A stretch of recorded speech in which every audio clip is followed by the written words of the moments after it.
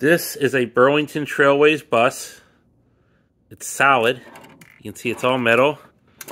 When you spin the wheels, they go. So you can see the one side's going, and this is the axles are actually connected to each other. And they're it's pretty high quality. It is rubber there. It's a Corgi.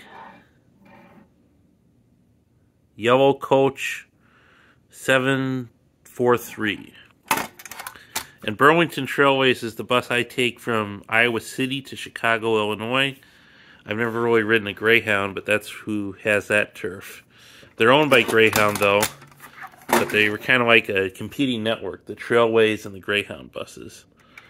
And it's just a nice, simple little bus. There are some other variations of this bus besides this one, and I've been looking at getting a newer one of it, but those get pretty expensive and are pretty limited with inventory and that. So we can see nationwide trailway system and all that. You can see the numbers. Just the overall attention to detail. If we look in here, I'm not sure if you can see the seats as good as I can, but there's a ton of seats in there. There's all that. There's a lot of visibility that the bus would have. There's the front again. It's just a really cool bus. Very solid.